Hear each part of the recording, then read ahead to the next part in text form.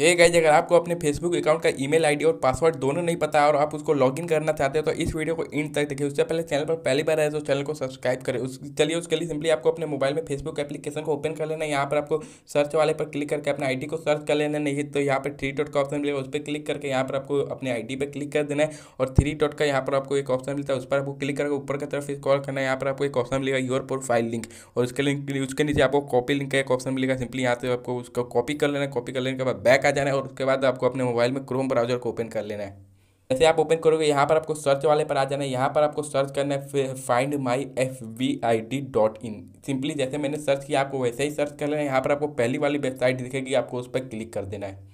जैसे आप उस पर क्लिक करोगे, वहाँ पे आपने जो लिंक कॉपी किया था सिंपली आपको उस, यानी कि उस लिंक को आपको यहाँ पे देखें, मेरे गड़बड़ हो चुका है। वहाँ उस लिंक को आपको सिंपली यहाँ पर पेस्ट कर देना है। फाइंड माई फेसबुक आईडी पर आपको क्लिक कर देना है।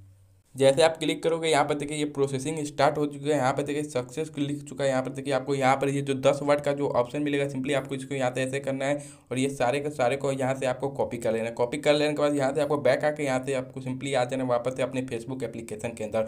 उसके बाद देखिए आगे का प्रोसेस मैं आपको करके बताता हूँ। उसके लिए यहाँ पर मैं थ्री डॉट पर क्लिक करके यहाँ पर मैं लॉगआउट वाले ऑप्शन में जाके जाता हूँ और यहाँ पे देखिए सबसे पहले तो मैं इस आई को यहाँ से मैं लॉग आउट कर लेता हूँ इस पर करके यहाँ से मैं इस आई को रिमूव कर देता हूँ देखिए यहाँ पे जाके यहाँ इस आई को रिमूव कर देता हूँ रिमूव अकाउंट कर देता हूँ यहाँ पर देखिए मैं लॉग इन करता हूँ देखिए log in to another account यहाँ पर लॉग इन करता हूँ यहाँ पर जो मैं जो मैंने यहाँ पर जो वहाँ पर मैंने कॉपी किया था उसको सिंपली यहाँ पर आपको पेस्ट कर देना देखिए मैं यहाँ पर उसको पेस्ट कर देता हूँ पेस्ट कर देने के बाद सिंपली यहाँ पर आपको जो अगर पासवर्ड नहीं पता है तो यहाँ पर आप फॉरगोट पासवर्ड पर क्लिक कर सकते हो यहाँ पर आपको जिस ईमेल से आपने बनाया था उस ईमेल को यहाँ पर आपको सेलेक्ट कर लेना है यहाँ पर मैंने इस ईमेल से बनाया था, मैं इस ईमेल को यहाँ पर देखिए सेलेक्ट कर लेता हूँ। यहाँ पर नेक्स्ट पर आपको क्लिक कर देना है। जैसे आप यहाँ पर नेक्स्ट पर क्लिक करोगे तो देखिए यहाँ पर आपको जिस आईडी का यानी कि दूसरे आईडी का तो पासवर्ड पता होगा, उस पासवर्ड को यहाँ पर डाल देना है मतलब आपको यानी कि आईडी पर कोड गया होगा। देखिए गेट कोड का ऑप्शन मिलता है, उस पर आपको क्लिक कर देना है और आपको जिस आईडी यानी कि ईमेल आईडी पर आपको कोड चाहिए, उसको यहाँ पर आपको क्लिक कर देना है। देखिए, यहाँ पर मैं कंटिन्यू पर क्लिक कर देता हूँ।